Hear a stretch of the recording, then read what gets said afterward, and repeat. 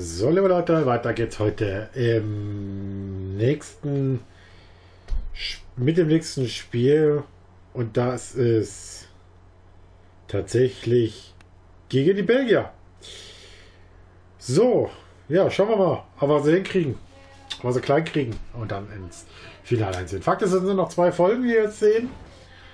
Wenn es die Belgier sind, ja, das bittere Aus in der Innenverteidigung Süle glattrot gesperrt. Und äh, Rüdiger wird länger fehlen, das ist klar schon mal.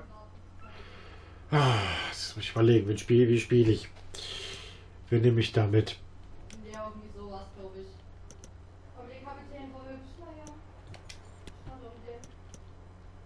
naja. Eine Idee. Alternative. Ja, es bringt ja nichts. Es, es muss ja so spielen. Kinder und Schlotterbeck jetzt soll rein in der Mannschaft.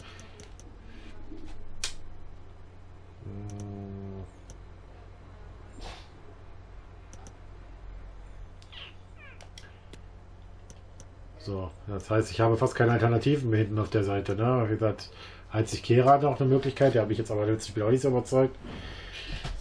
Und jetzt müssen wir gucken. Mit der gegen die Offensive. Naja, auf geht's. Mecker bringt sich.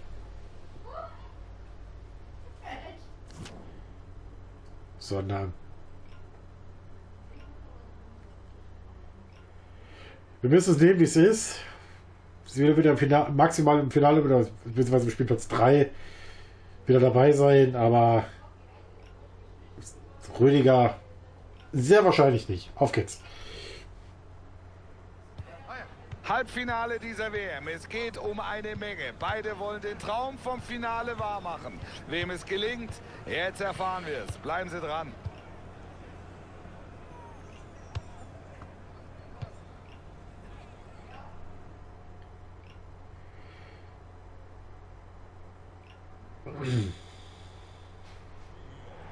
Ich begrüße Sie herzlich im Al-Bayt Stadium, liebe Zuschauer. Willkommen zu diesem heutigen Spiel. Ihre Kommentatoren sind wie gewohnt Wolf Fuß und Frank Buschmann. Wir zeigen Ihnen heute das Halbfinale dieser Weltmeisterschaft. Deutschland gegen Belgien. In so einem Halbfinale brauchst du natürlich vor allem von deinen Leistungsträgern 100 Prozent. Die müssen da sein, müssen vorangehen, müssen die anderen mitziehen. Mal gucken, bei wem das heute besser funktioniert.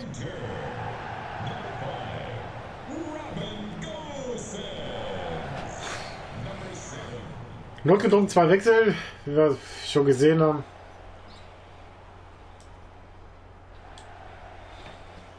Anders bringt es sowieso nicht.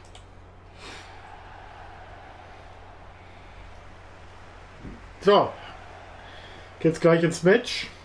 Gegen diese, wie gesagt, gegen diese belgische Mitteilsar mit Mertens, mit Lukaku, mit der Bräune. Also das wird alles andere als einfach. Das wird nochmal eine andere Ausnummer als im letzten Spiel gegen die Serben. Die sind nämlich nicht so krass anfällig. Die Aufstellung der deutschen Mannschaft. Im Tor ist Manuel Neuer. Joshua Kimmich steht mit Leon Goretzka im Mittelfeld. Und vorne drin setzen sie auf Thomas Müller. Ja klar, was bringt jetzt auch anders zu meckern? Wie gesagt, es muss halt durchgehen jetzt irgendwie. Ich werde da jetzt nicht viel wechseln müssen. Harvard sehr gut. Würz hätte ich vielleicht bringen können für Harvard, aber Würz habe ich ja auf der Bank, theoretisch. Oder? Ne, habe ich gar nicht mit dabei. Ich weiß ja nicht, ich hätte ich eigentlich drauf lassen, eigentlich mir lassen können. Also egal. Müssen wir jetzt so nicht kommen. losgehen. Anstoß haben die Belgier. Angriff Belgien. Wie gesagt, die müssen wir noch mal aufpassen. Thielemanns. Carrasco. Janik Carrasco, Atletico. Im Angriff, Ball läuft gut. Oder bitte, bitte, bitte mit Atletico. Gut dazwischen gegangen, im eigenen 16er. Wie gesagt, Fakt ist, dass wir alle die Chancen, die wir haben, irgendwie nutzen müssen. Und ja! So, viel zum Thema. Lösenlose Chancen. Sechste Minute. Das ist ihnen gelungen. Tolles Tor. Wichtiges Tor.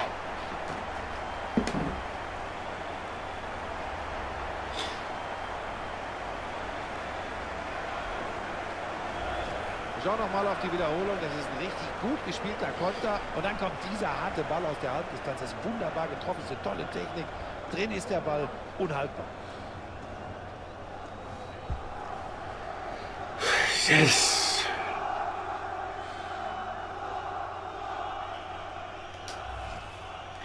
Lieber Sunny mit seinem vierten WM-Tor.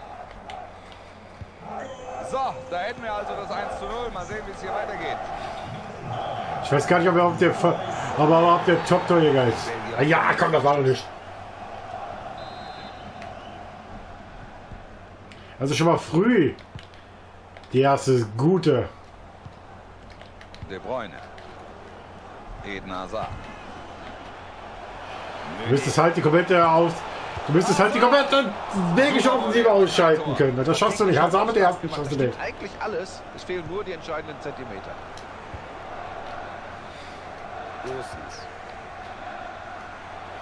Sané. Leroy Sané. Super Ding. Harvard. Harvard. Und Couture. Da ist der Torwart da, gut gemacht.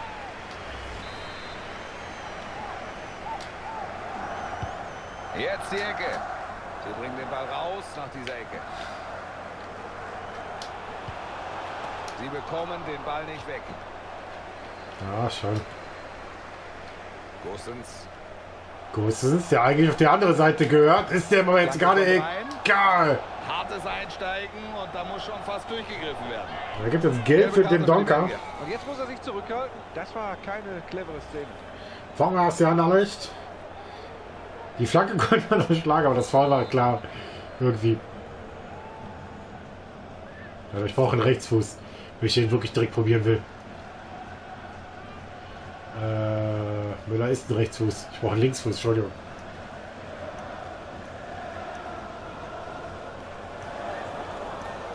So, dann probiere ich aus Harvards. Wenn ich das Ding wirklich direkt probieren will.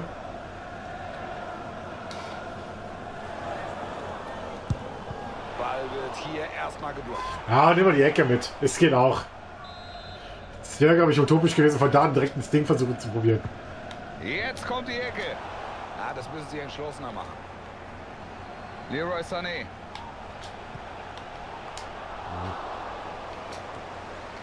Oh, wichtiger Befreiungsschlag. Ja, das war wichtig für Belgien, dass die dann wegkommen. Jetzt Hazard war die Außenbahn. Bei Real spielt er kaum hier.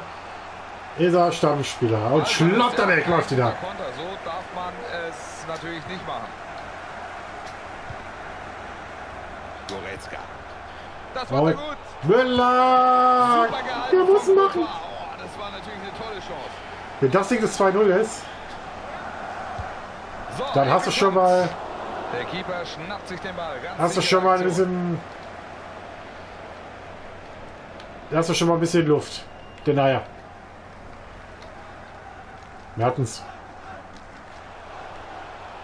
Ah, der läuft den Watter weg. Dries Mertens. Ball geht an den langen Pfosten. Au! Der Neuer dran? Ja, scheinbar. Die kurze Ecke. Gute Aktion, Ball bleibt hängen. Den Ball holt er gut verteidigt. Und De ah, Bruyne. De Bruyne. Keine Gefahr. Die Und Kimmich. Die Flanke für Lukaku. Lukaku. Bei diesem Kopfball. Echte Torgefahr sieht anders aus. Absolut, Wolf. War doch eher ungefährlich. Ja. Uh, Hazard. Hazard. Sieht vielversprechend aus. Mertens. Mertens, ah, das darf nicht passieren. Wie ist Leute. Kein Tor. Na, da hätten wir um ein Haar den Ausgleich gehabt.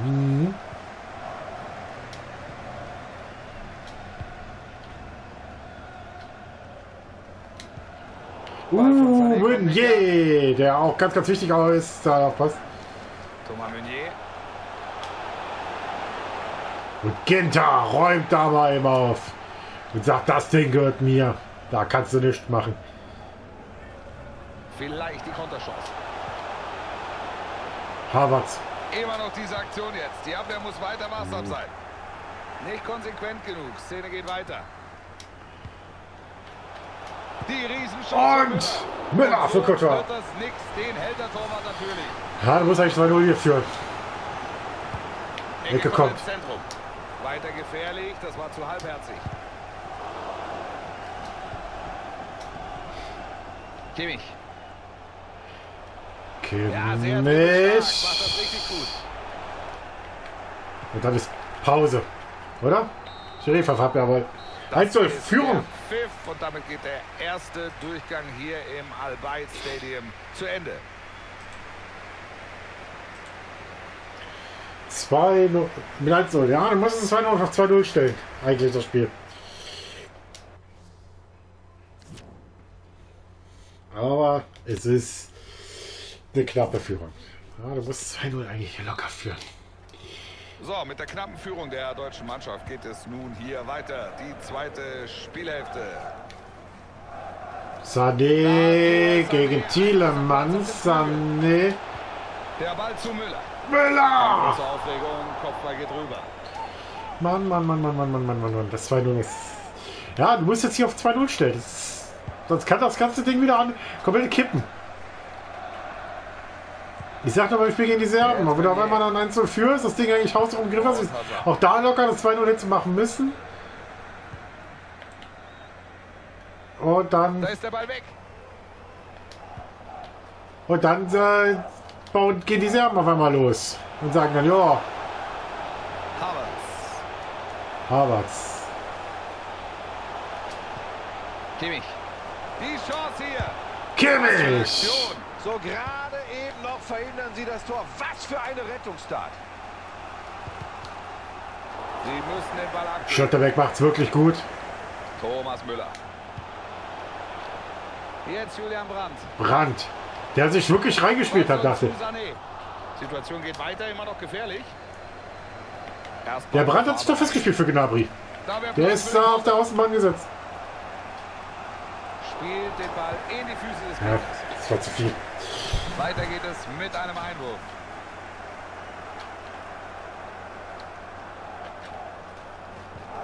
So, und jetzt sind hier noch 30 Minuten zu absolvieren. 30 Minuten noch. Abseits. Er zieht ab. Neuer hält Und Hanna. Neuer. So, Entschuldigung. der Ball war natürlich mehr oder weniger... Manuel Neuer hat das Ding. Vorher Buschi. Die war richtig, richtig gut. Ja, da hat sich der Torhüter ein Sonderlob verdient. Ganz Szene. Jetzt vielleicht mal Druck von Deutschland. Sané. Die Chance für Leroy Sané. Sané! Sané! Fünf Da ist es. Test-Torhüter! Damit sind sie jetzt 200. zu zwei Und da ist es. Dieses Halbfinale läuft genauso, wie sie sich das vorgestellt haben.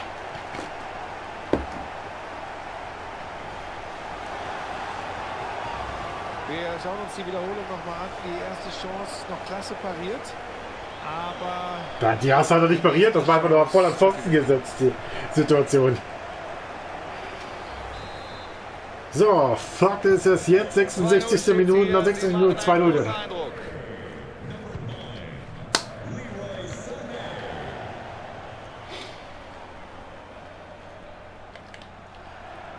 Das könnte die Chance werden. Hazard. Kevin De Bruyne. Lukaku mit dem Ball. Ja, Lukaku ist wirklich. Nicht so einfach hier. Er versucht den Heber. Lukaku ist so äh, momentan bisher noch nicht so wirklich im Spiel. Jetzt Müller. Ah, Müller, super gemacht. Müller, das muss das dritte sein. Machen. Finale, oder? Tor drin, der Ball. Die Führung damit. Drei Tore.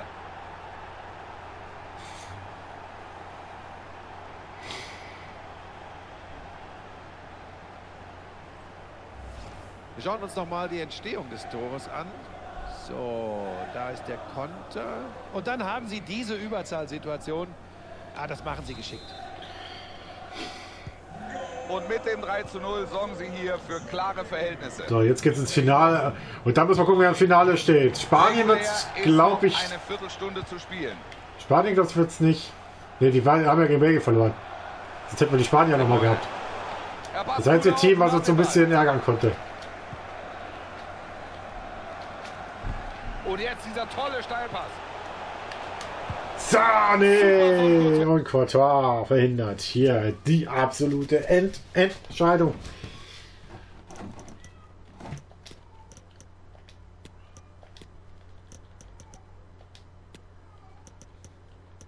So. Jetzt können wir schön mal ein bisschen wechseln.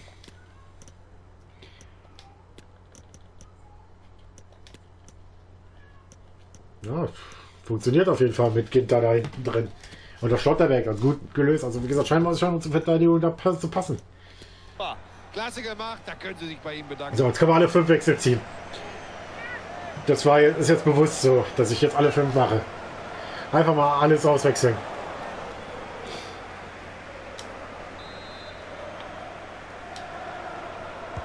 Der Ball kommt Oh, das weiß ich gar nicht. Gnabry, glaube ich, war das so. War das mit der Ecke? Die Szene geht weiter, kein guter Befreiungsschlag. Marco Reus. Jetzt die Flanke von Marco Reus. Reus mit der Flanke. Fängt diesen Ball ab. Ja, ja eh durch das Ding. Und der Fehlpass nochmal der Belgier. Man steht also tatsächlich im Finale. Belgien hat es eigentlich Es gut gemacht, aber Gnabry. Auf dem Flügel wäre Platz für Serge Gnabry. Der versucht er jetzt auch gegen De Bruyne. Ne? Er bringt den Ball auf den langen Pfosten. Ist, Da sagt jeder Keeper, danke, kein allzu gefährlicher Ball. war auch nicht gefährlich. War auch nicht schlimm jetzt. Es tut jetzt auch nicht mehr Und weh. Sie stehen vertongen auf den Füßen. Jetzt Eden Hazard. Einwurf für die Belgier. Nochmal die. Nachspielzeit Zwei Minuten, viel Zeit ist das nicht mehr. Klasse, wie De Bruyne da unterstützt wird. De Bruyne mit der Riesen. Und Neuer. Glatzparade von Manuel Neuer. Wahnsinn, wie hat er denn den noch erwischt? Ecke De Bruyne. Weiter gefährlich. Sie bringen den Ball in Tor. Oh, Juri Telemanns, 1 zu 3. Da war der Neuer raus aus dem Kasten und der schiebt den ein. Es hätte Ihnen früher gelingen müssen. Ja, es ist.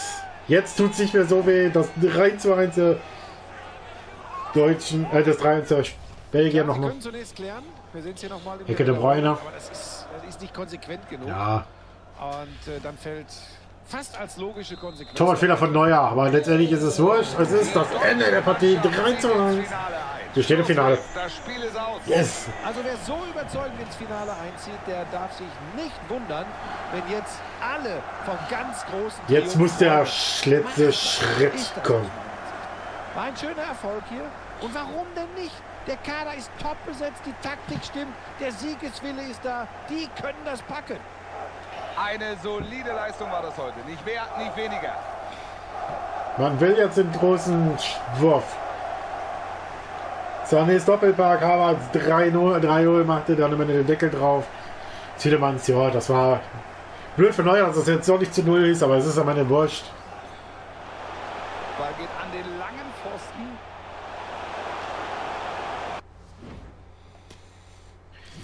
Am Ende ist es sowas von scheißegal, wie man das Ding ausgegangen ist. Jetzt müssen wir gucken, wer der nächste Gegner ist. Argentinien wird es, glaube ich, auch nicht, oder? Ich weiß gar nicht, wer, wer der jetzt noch zur Auswahl steht. Ah, die USA gegen Dänemark, genau. gegen Dänemark im Finale. Und das dritte, dritte Platz heißt USA gegen Belgien. Gut. Holen wir uns den Titel, liebe Leute. Wir wollen gegen Dänemark den Titel holen. Es ist in Anführungszeichen ein etwas leichterer Gegner, aber man sollte so Tunis unterschätzen, nicht unterschätzen. Oder was hinkriegen, den großen Titel zu holen. Das sehen wir dann morgen. Bis dahin. Ciao.